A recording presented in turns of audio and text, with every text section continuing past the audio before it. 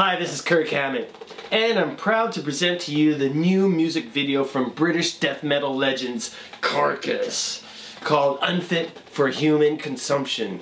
It comes from the current killer album called Surgical Steel on Nuclear Blast Records. This is the first proper music video in close to two decades. Yeah, it's been that long. And I hope you enjoy it. I personally can't wait to have them at my Fear Fest Evil in San Francisco this February. Hope to see you there.